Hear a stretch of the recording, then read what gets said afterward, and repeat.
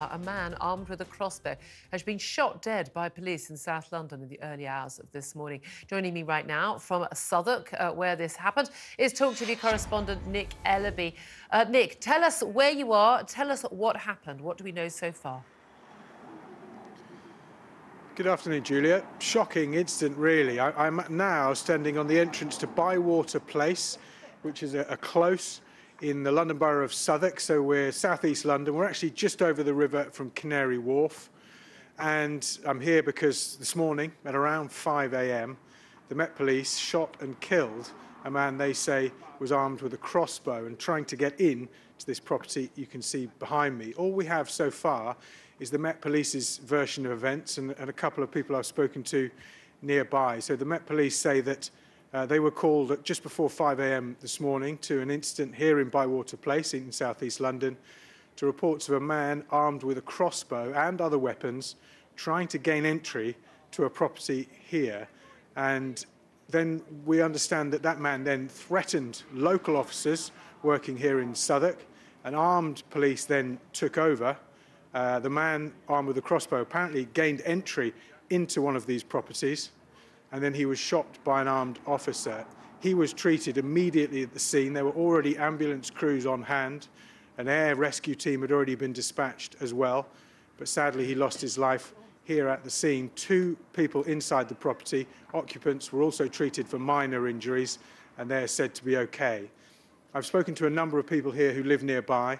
One guy who uh, runs a kind of neighbourhood watch group uh, here at Russia, Dock Woodlands, uh, saying that he got calls from dog walkers this morning to a disturbance. He said he was very shocked. There's actually five primary schools on this little peninsula just south of the Thames.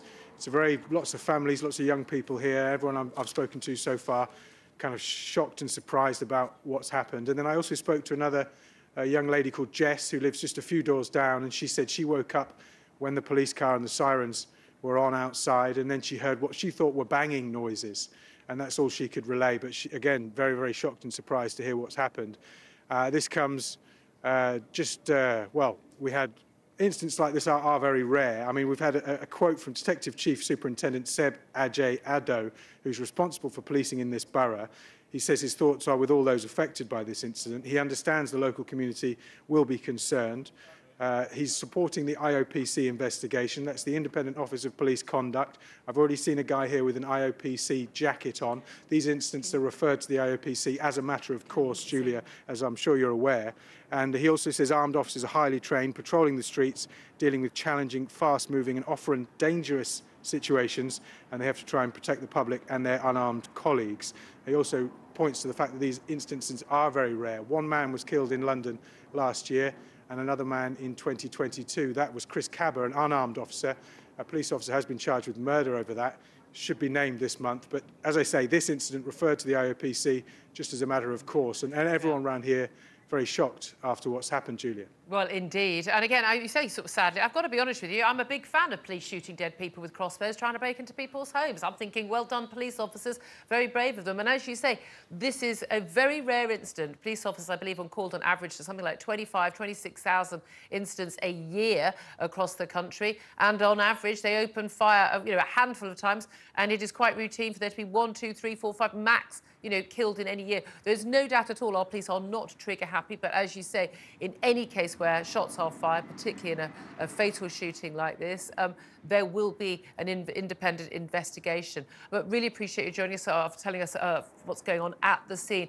Uh, that is our reporter uh, there, Nick Ellaby, Talk TV correspondent there at the scene in Southwark, actually not too far from where we are right now. Um, former Met Police Detective Chief Inspector Mike Neville also joins us on the line to talk about this and indeed that, that Chris Kaba case as well, which goes to court. Um, uh, Mike, thank you very much for joining us. Um, very, very scary incident um, uh, for, for those in, in, the house, in the neighbours, but also I think for the police as well. They they say in earlier statements they were threatened. They called in the armed police response unit who came. This man, by all accounts, had broken, managed to get into, gain access to this home, armed with a crossbow. It's believed he had other weapons as well. He was shot dead by the police the trouble with this is, of course, you know, there's always an investigation, as there should be. We should take these incidents seriously. But for the police officers involved, this can be very, very difficult for them, can't it? They're taken off duty. Um, they face often years of investigation, and sometimes, and we won't go into the, the details of the Chris Kaba case, they can face prosecution.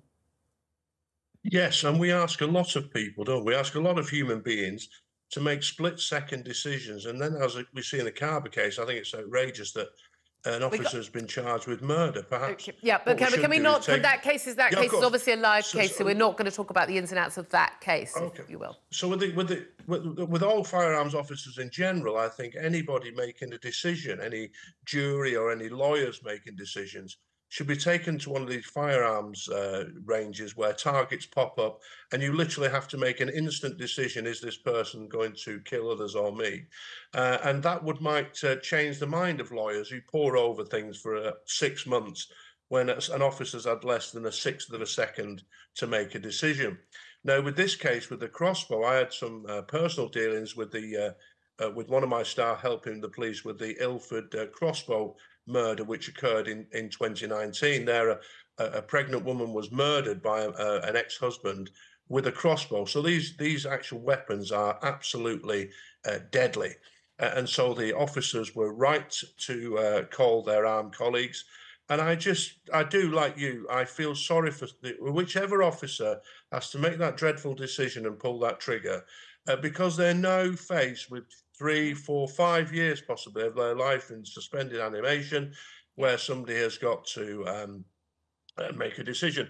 And we, like for example, we ask surgeons to operate on brains and hearts, Yeah. and we accept that occasionally these people will make a small mistake and they'll nick an artery or something, and people will die. But we accept that these surgeons are, are very skilled people, but they're humans, and things when you're in a dangerous Yeah. situation, bad things. And they're happen. doing they're doing Um, their best. I, honestly, I, I'd like I'd like to shake the hand of the officer who did this. He's he probably saved lives. I mean, what, what, where the hell do you buy a crossbow from, by the way?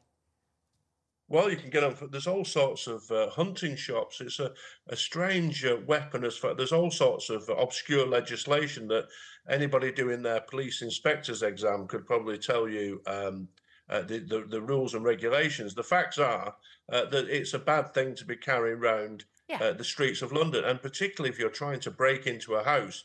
So it becomes an, an aggravated burglary because you're trying to enter the house armed with a, a weapon. Uh, and and so uh, well done to the officers for what they've done.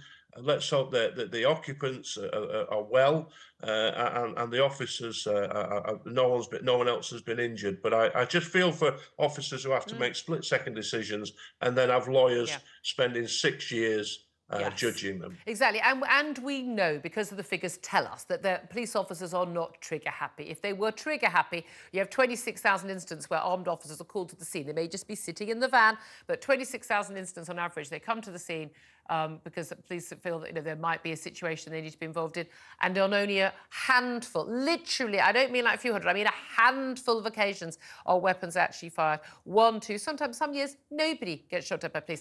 They are, oh, our police are oh, not trigger happy. People